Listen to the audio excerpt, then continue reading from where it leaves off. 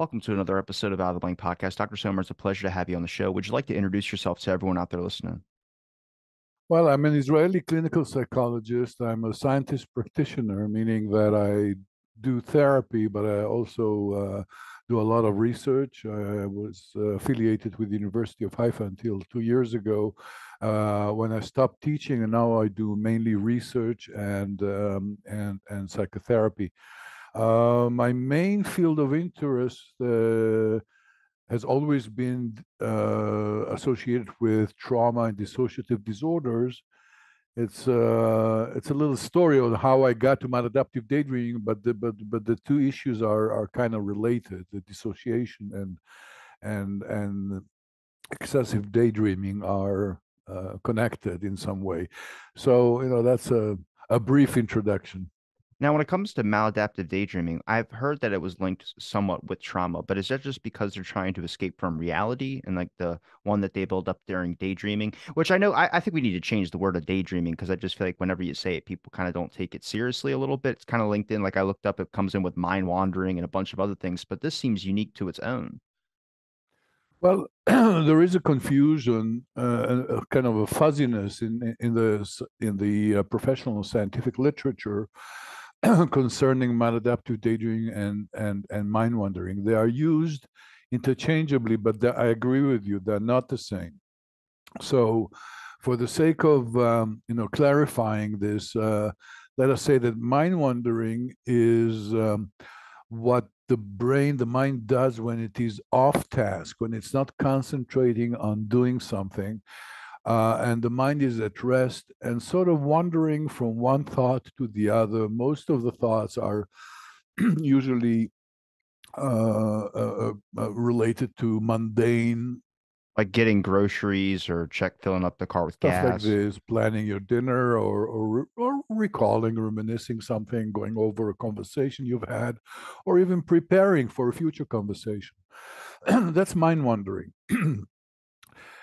uh, daydreaming again it's it, it involves uh, something that is much more fanciful much more uh, uh, um, fantasies involved in the storylines and even that uh, mental activity lies on some kind of a continuum because people um, differ from one another in terms of the degree to which they can absorb themselves in their daydreaming.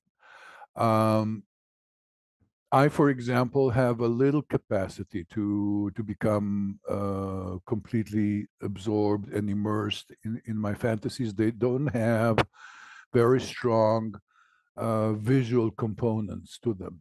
Um, but others, on the other end of the continuum, ha- have hyperphantasia. They can experience uh, all sort of sensory components to their fantasy that to, to, to for some is experienced as if they are actually present. They have a sense of presence in the experience. That is something completely different and we call this form of daydreaming immersive daydreaming. Immersive daydreaming in itself is not pathological it's not a it's just a trait a capacity to uh, visualize the, the, the fantasy very vividly. And what people do when they discover this ability, usually it's uh, we believe it's an innate ability, so it's discovered early on in childhood, that they can develop uh, complex storylines, complex scenarios. And this is where we get to to the magic of it, because if you have a uh, this built-in virtual reality between your ears that you can then be the director, the script writer, the director. Um, you can actually create a an idealized life um, and and and uh, and imagine things that uh, you would have liked to experience that that uh, were fun and you want to re-experience that you want to experience in a corrected way, um, the sky's the limit. And um, apparently, I can imagine this only. I mean, not literally, but I can imagine how fun it, it can be. And so, what do we have here? We have uh, an ability to uh, to actually be transported to an to an inner world uh, that is uh, that we are in uh, complete control of. Uh, that that can be extremely rewarding, and it can and it, it would be doubly rewarding, of course, to those who experience uh, distress or have bad memories or have had, you know, live in difficult uh, life circumstances, they can simply transport themselves to the alternative reality.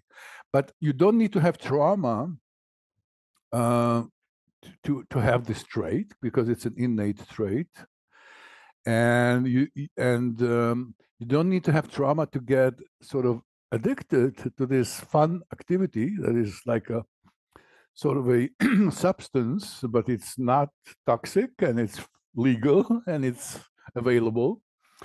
Um, you don't have to go anywhere; it's just right in your house. You just wherever you're at. Exactly, exactly. Uh, so people who have this, some some people who have it, just don't want to stop.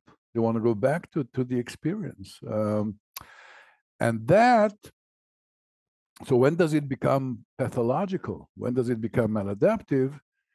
It's when it starts interfering with your daily responsibilities, when it impedes your, your functioning in some way, when, it, when you prefer to engage with your imaginary friend friends instead of socializing or being with your family, when you prefer to imagine yourself excelling in whatever profession you want to be instead of studying or or, or practicing. Um, the or or when you you do less work because it's just much more because work is dull and and in your fantasy you can do uh, unimaginable things. Uh, so that's when it becomes a problem. And when people lose so much time uh, in their fantasy and it uh, interferes and and and and and, and uh, compromises the quality of the functioning, some of these individuals become depressed or anxious because they feel you know a loss of control and and that uh, actually their life there's a big a growing gap between the idealized life they play out in their minds and and and what's happening in reality.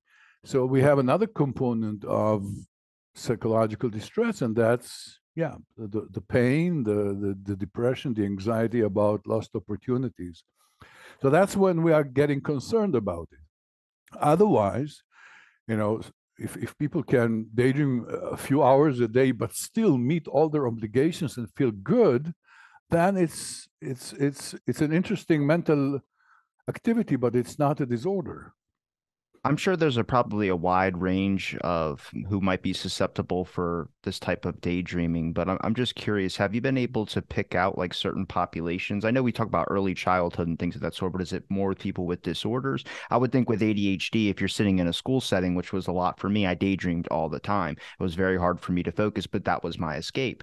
But then you got to look at someone that might be have you know a child with like a single parent that might be working two jobs. So then they're at home all the time and maybe they like watching TV so much they get sucked up into it. And then that starts becoming part of their daydreaming experiences. And then OCD is a giant micromanager type thing. So I would think if you can create your own little separate reality and it goes exactly how you want it, it's way better than the actual reality, then there's not really a point to kind of leave it in a sense. But I mean, I'm, like, have you been able to find a strong correlation with a certain population that there's like certain evidence that this is definitely something that could lead to this type of daydreaming?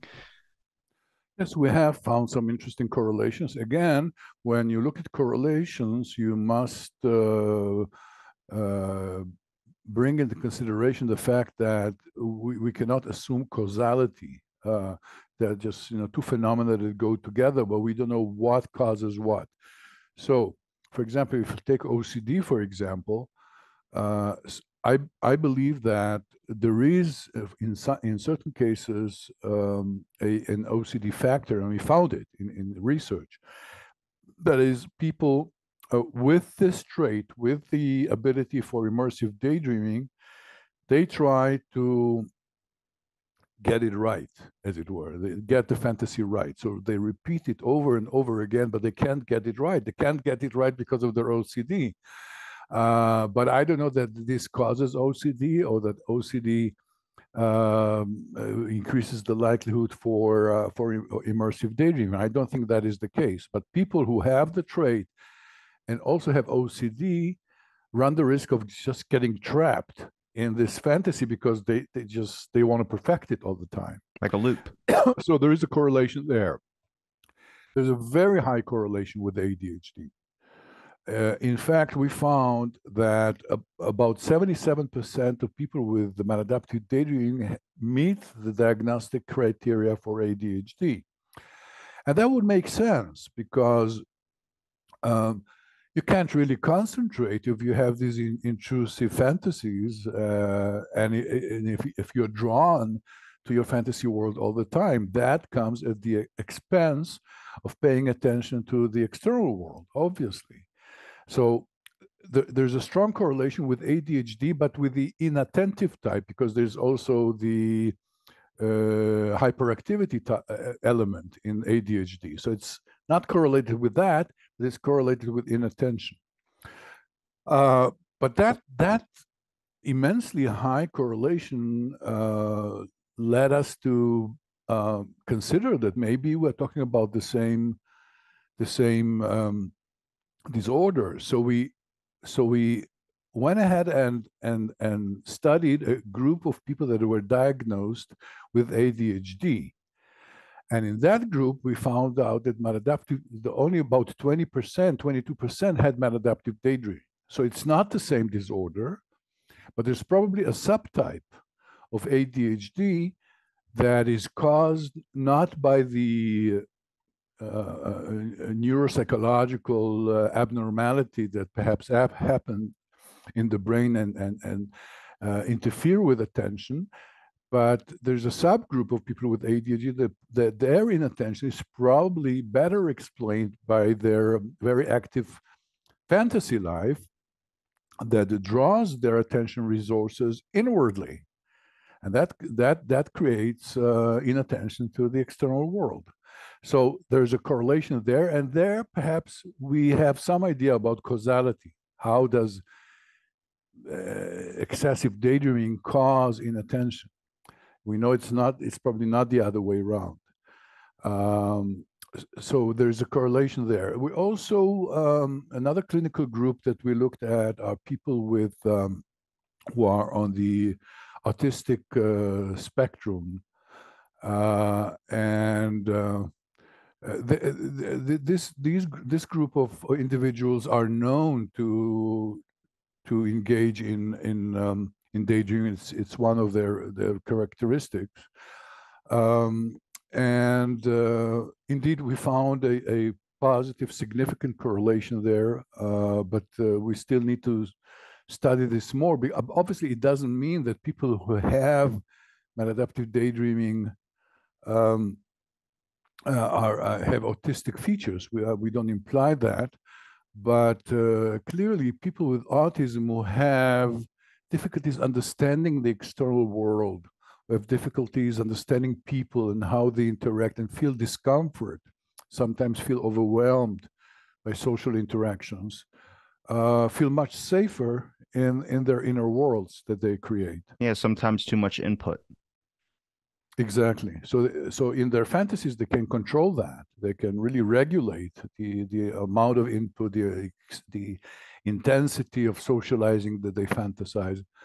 Um, but uh, that is uh, still an open field for investigation because we still don't know exactly what characterizes the themes, the fantasy themes of people with um, autism.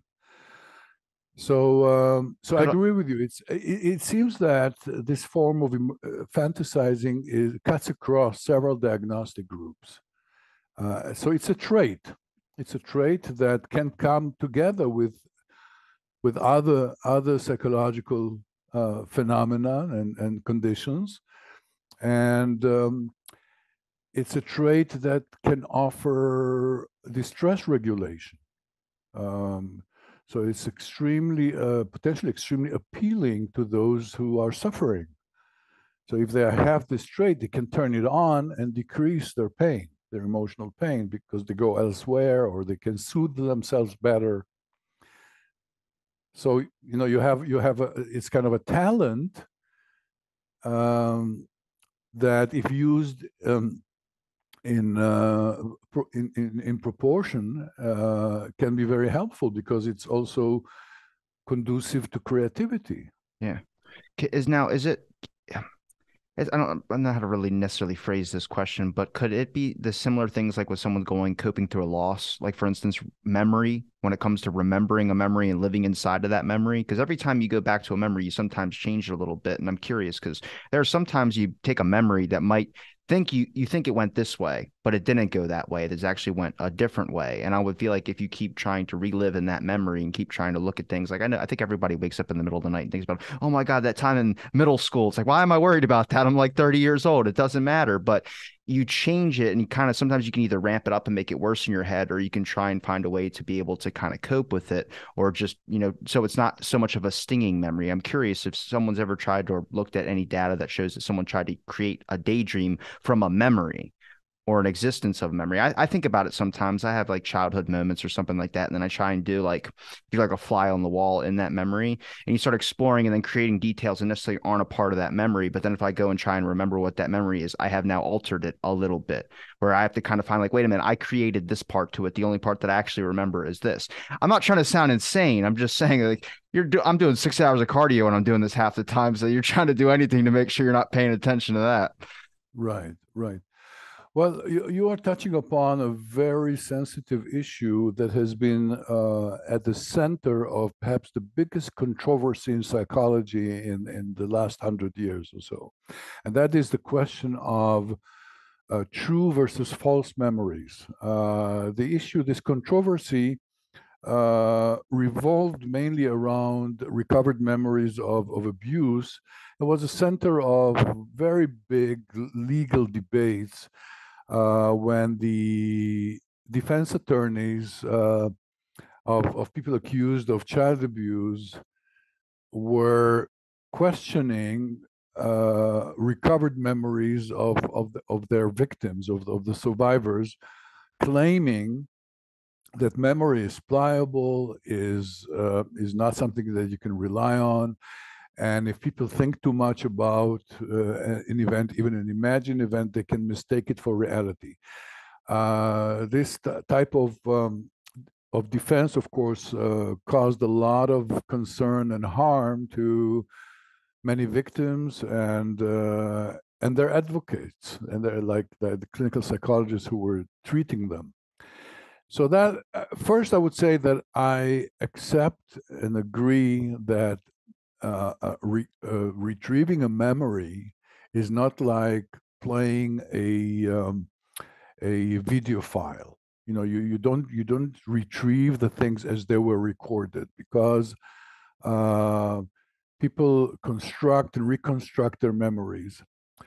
And with immersive and maladaptive dating, we have a special challenge here that is associated with the question of what as you said what is the source of what i remember? You know what i i remember something clearly but is the source the event or is the source the vivid absorptive um, fantasy that i can create?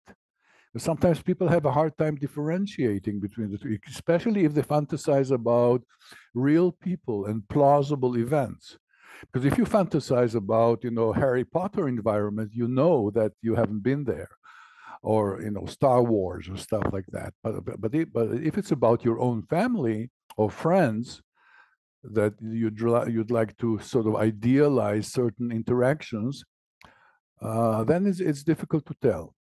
So. Uh, I we are actually investigating this as as we speak. There's one or two studies that we're running uh, just to shed light on on exactly this this kind of issue. Um, I had one clinical example, clinical uh, case in which um, there was evidence that the memory was false and associated with fantasy. You know, to to, to be able to claim that the mem- memory is false, you need to have evidence that refutes the memory. That's not easy. Um, so in, in one case that that I had, and I I got permission from this person to to write the case up, so I don't have I, am not uh, uh, infringing on her confidentiality when I talk about it. Um,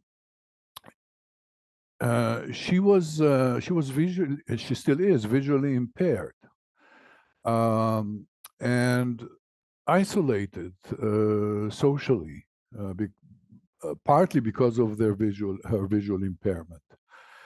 And this this person reported about three very dramatic events that happened to her that had to do with with her anxiety. For example during covid she all of a sudden uh, you know called up her, her, her, her family uh, asking for help, telling her that she got COVID and that she is um, she li- she lives independently and that she's uh, hospitalized, that she's in intensive care, and she has a hard time breathing. And her family, of course, alarmed.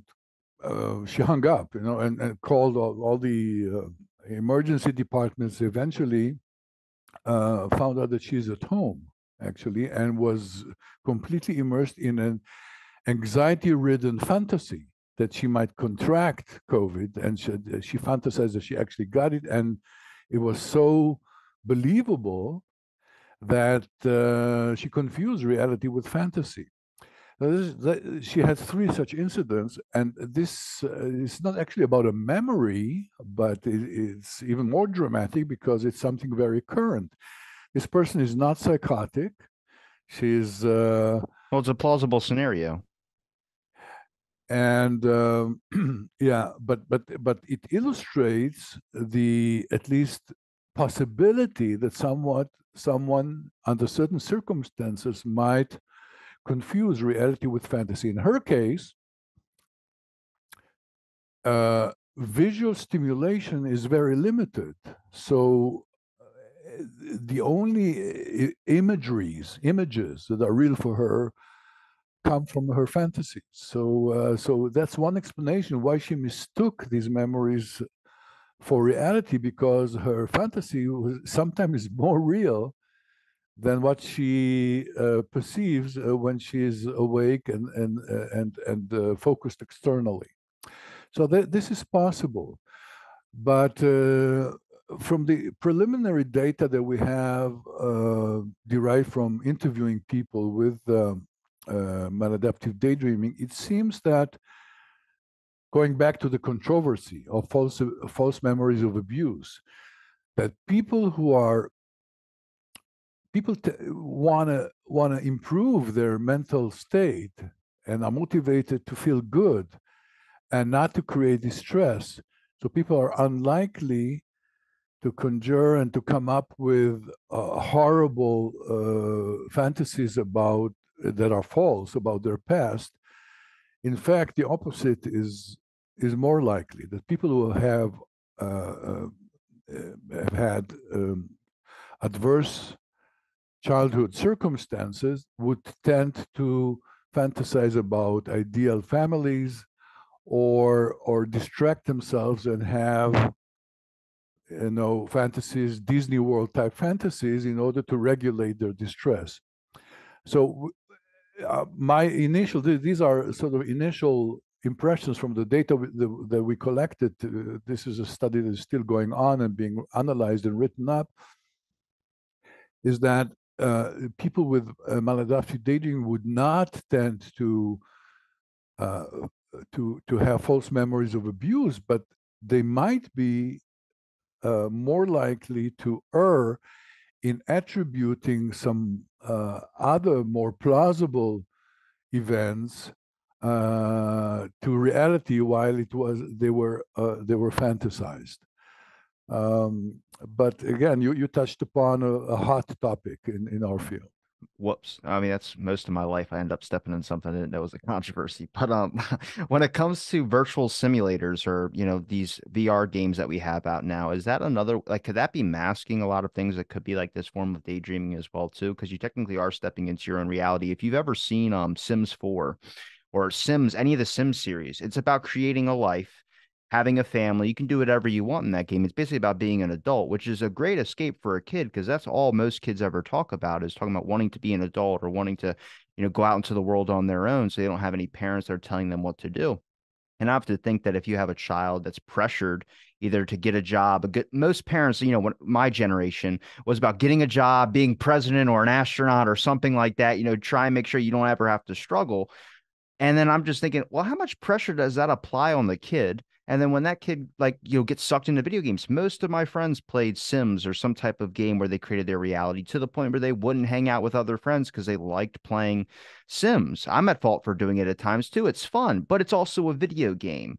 So it's like, could that be the similar things, much like, you know, maladaptive daydreaming is not an intensity where you're actually experiencing it. And I understand that there's different intensities. I think mine are pretty intense, but I've heard some stories from some people. But Sims is a great, quick thing where you don't need a lot of creativity and it doesn't seem like it's daydreaming because you're playing a game but essentially you're thinking about what you're going to do next and you're kind of developing what the story is going to be. Should i do this? Is that going to lead to this or this or this?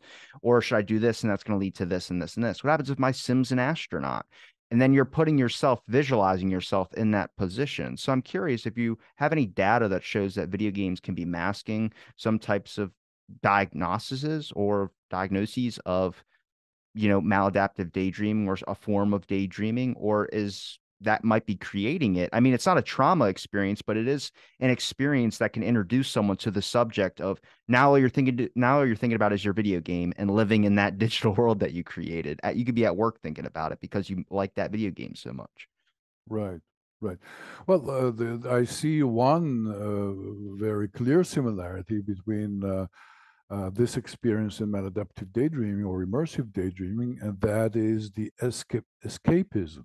And that is the the motivation here is quite similar to um, to be in a different reality that is distracting, that is immersive, that is engulfing you, uh, and sometimes acting through avatars. So not being you, being being someone else, creating protagonist and images that that that you are their master and their uh, their you know the director and um, so there is a great similarity there in, in terms of function of so so this is also a an activity that can lead to uh, to addiction in a sense that people want more and more of it uh, and when that comes at the expense of of achieving and promoting your own goals in life, that can become a problem. Uh, the other similarity is, of course, the escape to fantasy. Uh, what these uh, what, what differentiates between the two is simply the ability to do it in your mind. Uh, uh, that is characteristic of people with immersive and maladaptive daydreaming. Uh, in these computer games, uh, the visualization is in front of you, is is given to you. Still, you need, I guess, there's a lot of room for creativity, and you can get immersed in this world that you create. So these is usually also these are multiplayer activities. So you so so you interact with others whom actually you don't know, uh, you don't need to know, and the, all the avatars are are fictional so eh, this too is about uh, the motivation to to create an alternate reality and escape from the current reality. And the question, of course, is why? Why do that?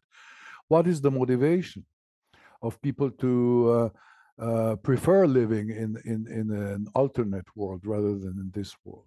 And this reminds me of, of another phenomenon that we recently reported in the scientific literature it's called reality shifting. It's also an, a, a, a, a, new trend uh, that spiked uh, when COVID was announced as a as a um, as a as a, as a threat, as a health threat by the World Health Organization. So around that time, we see a spike in in uh, Google search were uh, searches for the term um, uh, shifting or reality shifting, and what that involves is um, gener Generation Z uh, people uh, trying to induce themselves into what they believe is a parallel world.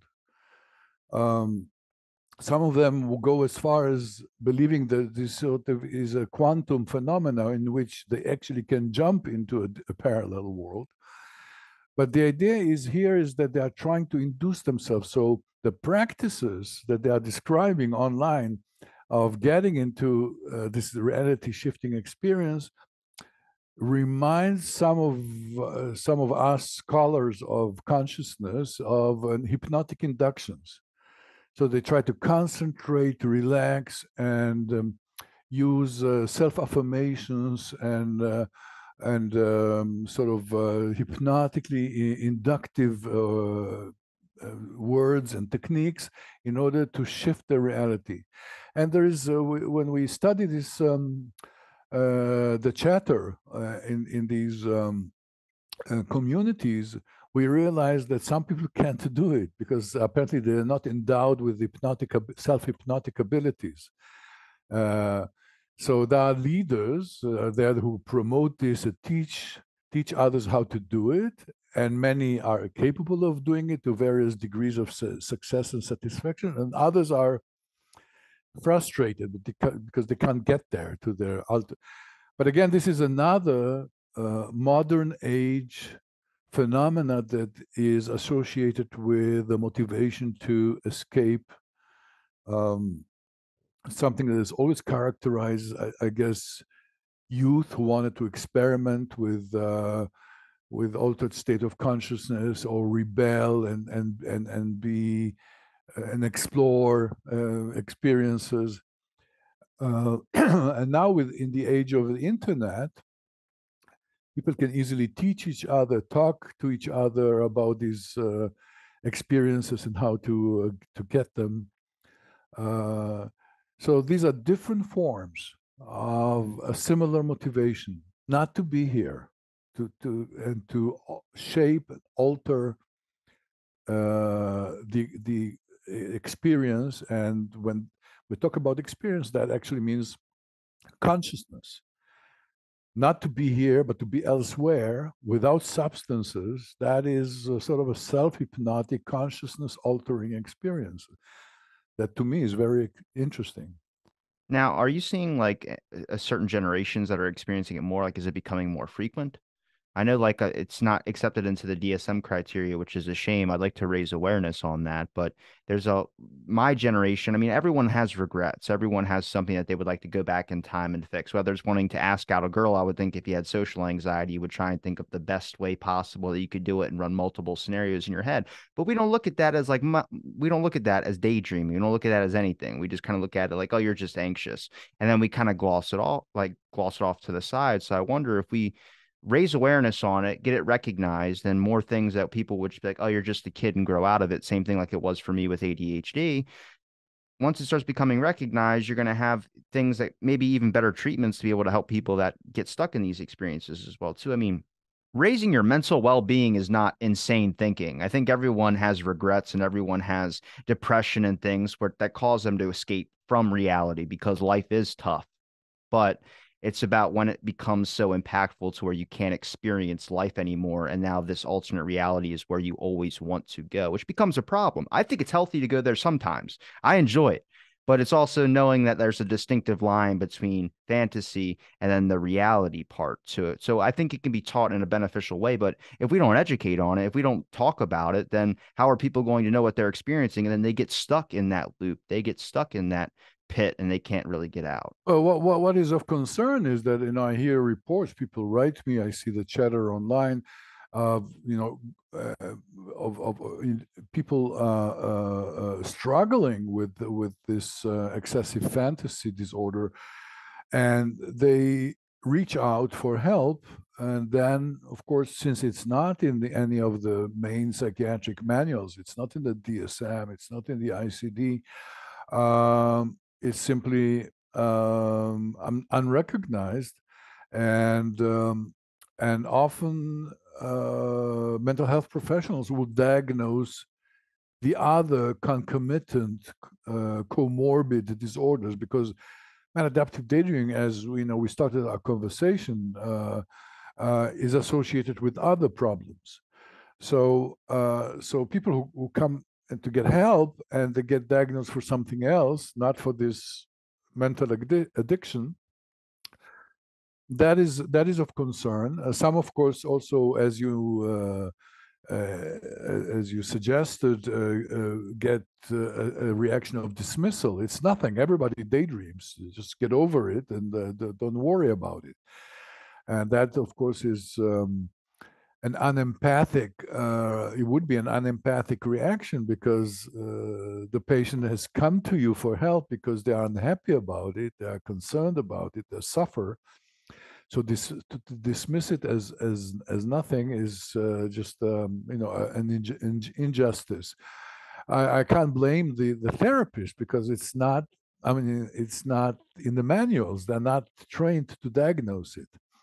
So that is a challenge. This is our challenge, um, and perhaps yours as a um, as a host of a of, of a of a internet talk show to to promote awareness. Your this this is why I was happy to accept your invitation to be your guest because it's another opportunity to uh, promote awareness of, of this form of uh, excessive daydreaming. And um, our impression is that, uh, you know, science speaks, you know, the data speak, and we have uh, accumulated now by now dozens of good quality, sound, rigorous uh, research studies that uh, uh, prove that uh, maladaptive daydreaming is a reliable, distinct mental disorders that cannot be better explained by any of the existing disorders. It's unique and therefore uh, deserves uh, a, un- a, unique treatment. And we have some good news regarding treatment because we just um, published a, a study. It was led by uh, my doctoral student, now Dr. Uh, Oren uh, Herscu, uh, who conducted a randomized clinical trial um, offering individuals, uh, those who were on the re research arm or the experimental arm, not the control arm, um, um, some some specific skills such as uh, increasing their motivation to change it because it's an addiction so and highly rewarding so you need to be highly motivated to remind yourself of the cost of not changing it and the benefits of of, of controlling this better uh, offering them the, them uh, simple techniques for self-monitoring because people are sometimes just not aware of how much time they spend in their fantasy world. And offering them a uh, a a technique that will help them um, be present. It's called mindfulness. It's now very popular therapeutic uh, technique that is applied in many other disorders. Mindfulness training, that is, and people need to learn to do it because, as you said, from your own personal experience, you can uh, you don't notice uh, how much time goes by and how quickly time flies when you are daydreaming. You can be engaged in rigorous exercise for hours when you do that. So that is just an uh, an illustration of of how uh, unaware sometimes people can be of the of the amount of time, and that that uh, uh, aids them in dismissing the gravity of, of the situation. So when they monitor uh, the amount of time that they spend in daydreaming, they they can they can also understand the patterns. So uh, th- this intervention, this three-arm intervention, um, is extremely uh, uh, promising because uh, after only eight sessions, online sessions, there, there was uh, patient driven. So we, we the, no therapist was involved. They they they were exposed to lessons, instructions, videos. Uh, they received homework, need to report it, but it was all without a therapist touch. And after only eight sessions, we had significant improvements. Some of them were not uh, did not meet the diag suggested diagnostic criteria for maladaptive dating at the end and at a six month follow up. So we we followed it up to see if, if these are durable uh, changes. Uh, so there is hope, and uh, obviously we talked about this as self medication as some as a as a as a behavior that is designed to regulate distress. So obviously, undoubtedly, a, a, a, comprehensive, thorough therapy for maladaptive daydreaming needs to address not only the addiction, but also the cause for the addiction, if there is a cause. Uh, social anxiety, uh, sadness, depression, uh, whatever. Um, not there's not always an underlying cause, but uh, often there is. Uh, the, uh, it, it, explains, you know, why people prefer not to be present, but elsewhere. Um, so uh, a combination of a, uh, a, technique that helps people control better the, the urge, the yearning to escape, with dealing with the underlying issues, to my mind, uh, offers can offer great hope and, and help for people uh, who are struggling with this disorder. There's, there's good news there too. And of course, the fact that there is therapy for it also um, adds to the validity of, and, uh, of, of, of this construct and makes it a good candidate to be included in one of the future editions of the DSM, for example you find newer researchers that are open to the idea of maladaptive daydreaming? Like if I was a client and I walked in and said, "Can you look up maladaptive daydreaming?" I think I have it. Are they going to actually take the time to do so? I find that with younger researchers or younger health professionals that they're more open to an idea like that before. And I'm wondering if this type of daydreaming is actually getting recognized to the point where you're having people that go, "You know, I've heard of that. I'm going to look it up and see what we can possibly do." Because I feel like a lot of times it's they always look for something that's more like a basic one, one that would be more diagnosed like ADHD or something like that, that which is now getting recognized. But then there's other things like maybe you have depression or maybe you have anxiety.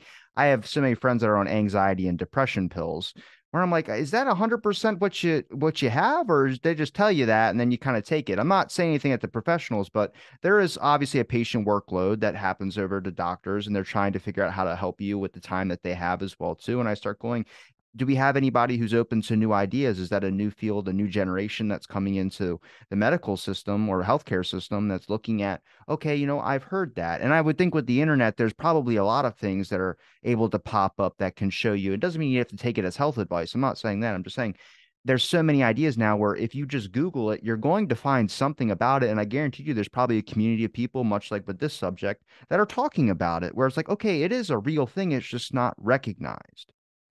I'm telling you, I'm, I, there's a subreddit. Uh, I, uh, uh, I, guess most of our, many of our listeners know what Reddit is. So it has a subgroup dedicated to maladaptive daydreaming. I think it has over 90,000 members in this community, and that's just one community.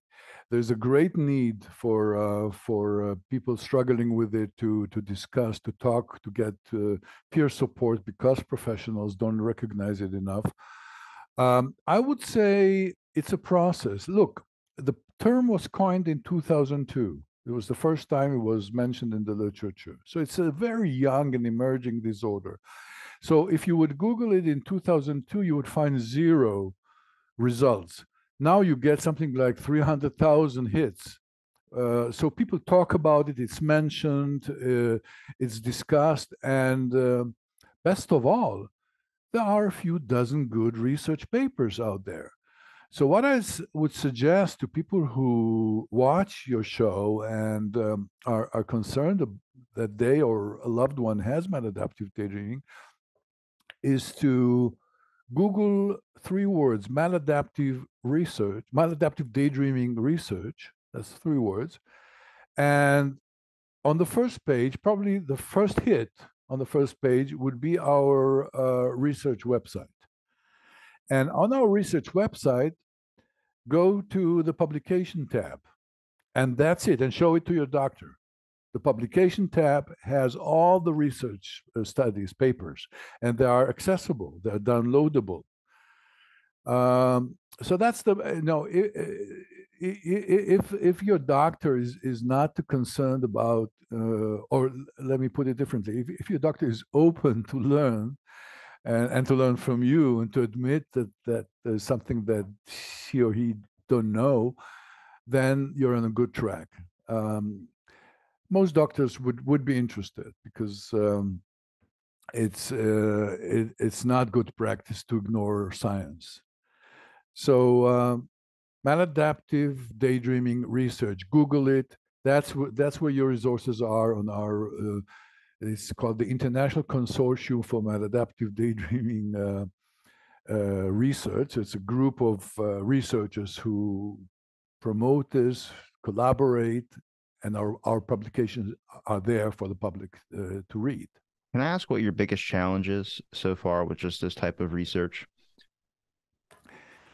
Well, there are two challenges. Uh, uh, the first one, we know this starts in childhood. We would like to be able to identify this er- as early as possible uh, because we get a lot of, emails and calls from parents who say, Look, I, I, my child is doing this, they, they're walking about, they're talking to themselves, they seem lost in their own world for hours and they talk about you know their their imaginary friends uh, but you know they'd rather do that than do their homework and they look uh, because they're children they are not self-conscious so they look odd to others um, and there's nothing to offer them and these children uh, grow up to be adults and and for those who develop maladaptive daydreaming that's you know uh, a shame because it uh, years of, of of embarrassment and suffering and and dysfunction could have been avoided if this were to be detected earlier.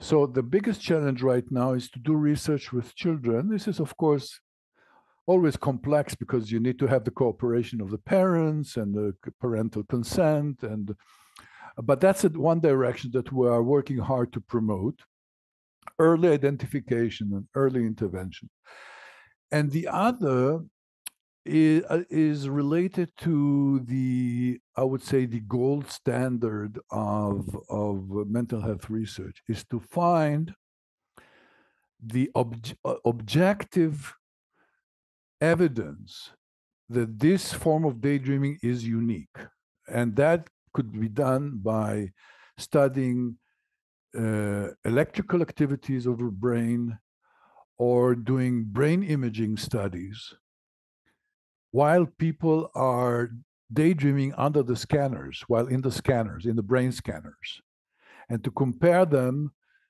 to how the brain functions when they are uh, instructed to pay attention to external uh, uh, stimuli and compare them to people who are not endowed with this trait. You know, once you once you present the scientific world with hard objective data not self-report that is the gold standard for really establishing the validity of a disorder.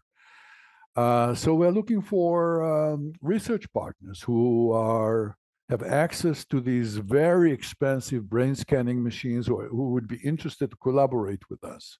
We're not there yet do you find that it's just because there's not a cemented name that's funding some of these studies? Like you have a lot of people that are independently researching it and having papers published, but what about like if you had like a concrete, well-known name that solidified it. I mean, your name is respected. I'm not saying that. I mean, like an institution that was like, this is a 100% study. I feel like more people would look into it because of that. I mean, you could have a bunch of papers published, but if I don't know if people are reading the names or certain individuals are looking at the name and they're just looking for something that they know to be like, well, they signed off on it, then that's kind of the in that you guys. It's always have. good to it's always good to have a, a renowned scientist involved, but ultimately, what what talks are the data, the results.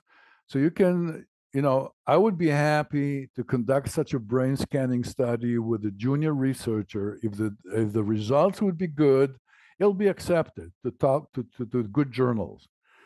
Um, but these are expensive studies, and just to run some uh, to, to run somebody under such a such a scanner, uh, it costs a lot of money. Um, and uh, uh, our our young and emerging field is uh, just get, getting funded. A colleague of mine in Israel uh, received a nice, handsome grant uh, to do it, but she's not. She she will not focus on on brain imaging. But uh, once we get funded by uh, by by the establishment, uh, we'll be able to promote it. A shortcut, as I said, would be to have a, a scientist who is a neurologist who has access to these machines and who is interested. Maybe somebody who struggles struggles with immersive daydreaming. that would be a good candidate. Do you know? I feel like well, that's how people end up educating themselves on it is when they realize what they're experiencing. It is um either that or if you have like a a parent usually if a, they have a kid that suffers with it or has it and they heard about it, they'll start doing a lot of research, and it has to affect you for someone to actually want to go and search into it. Um, but do you know why movement somehow amplifies the daydream uh experience that they have?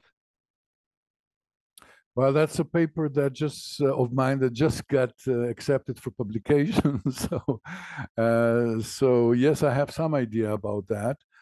Um, so, as as you imply, uh, maladaptive daydreaming and immersive daydreaming, the non-pathological uh, uh, variant of this, involves two very distinct behaviors. One of them is the exposure to music. Music is very important to many people with this. Uh, it sort of sets, it's like the soundtrack of a movie. So it sets the mood, it, it act, so activates the body. It, uh, it's very important to, not to all, but to many. And movement is extremely important to, to most, not all, but to most people with maladaptive daydreaming. In, in, in fact, one, one collaboration that we're developing as we speak is with child neurologists who treat uh, children with what they call stereotypical movement disorder. They have discovered that many of the children who meet the diagnostic criteria for stereotypic movement disorder actually report that they fantasize. They daydream while they're doing it, and it's a lot of fun. So somehow we read each other literature, we started talking, and now we are convinced that we're actually the childhood uh, antecedents of maladaptive daydreaming were right there in plain sight. They just called it stereotypical movement disorder. We are, we are confident that it's the same thing. And now we are launching a study of children with stereotypical movement disorder who have this stereotyp, stere, stereotypical um, uh, behaviors of rocking, pacing, uh, twirling uh, some an object in their hand, mouthing, uh, uh, and we're going to follow them up uh, to adulthood. It's also possible to have someone who was diagnosed in childhood and they are now a, a, few years ago and to catch them as adults and see if they meet the diagnostic criteria of maladaptive daydreaming. So um, I don't know, I don't remember what your question was, but I, but I got excited about it because that's exactly what we're doing now. Uh, so I, I don't know if I answered your question. You did. It was just about movements and why the intensity increases. Oh, up. movements, yeah. movements, right. So, okay. So, one function of the movement is um, to enhance concentration. No, I didn't answer your question. Now I'm answering it. One function of movement is is is to enhance con concentration. So people sort of rock back and forth, and it sort of uh, it sort of helps them helps them deepen their fantasy. That's one type of movement. And another category of movement is are movements that are embodiments of the fantasy. So they would they would throw punches in the air, they would gesture, they would uh, grimace, they would uh, mouth there, and that would be an actual a um, physical manifestation of the fantasy that they are playing in their mind. So these are two types of movement but you hit it right on the the nail right on the head. It's extremely it's it's highly characteristic of uh, of maladaptive daydreaming. And of course, to the unsuspecting eye, people who do this might look odd to the onlookers. So that's why people with uh, maladaptive daydream prefer to normalize their movement by exercising, jogging, uh, power walking, or they seek solitude. They just don't want to be observed.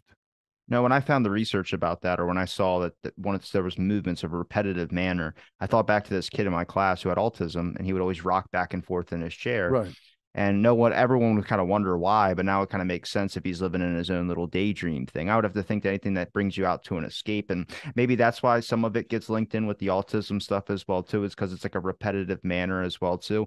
I mean adhd i know they say it's not on the spectrum and stuff and i have it i don't want to say that i'm autistic at all but when you start looking at like some similarities with it you start going okay there's a few things here where it's like the impulsivity, you know, there's a lot of social masking to make sure you're not showing a piece of yourself or anything that could be, I to say society accepted. Um, when it comes to the manner that you're supposed to be acting, you know what to act like in public compared to what you can act like in private. Everyone has that, but I feel like with ADHD, you have to censor a little bit more. So I think normalization is really important because like talking about this type of stuff the way it can be described as well too can kind of sound nuts if it's just a single experience but that's just because we haven't been educated on it as a public. Once you start realizing there's a whole community of people that probably have similar experiences it i mean it normalizes it and which is the probably the one of the most important things that we can honestly do just so we can actually talk about it educate on it and then people be more receptive to it. I agree well, Mr. Somer, I appreciate the time you gave me to talk on my show, but is there a place where people can find any papers that you have published or any links that you would like to provide? Oh, as I said, it's all out there, available and downloadable. Um, uh, just Google maladaptive daydreaming research, and you'll find our website, uh, International Consortium for Maladaptive Daydreaming Research. And if you want to ask me a question, I hope I, I, I won't, I'm not shooting myself in the foot. You can Google Eli Somer, find me, and if the question is short, I, I might, uh, I, I, in all likelihood, answer you. Okay, and I'm going to link all your links in the description. It's been a pleasure chatting with you, and thanks everybody for listening to this episode of Out of the Blanket. Stay tuned for our next episode.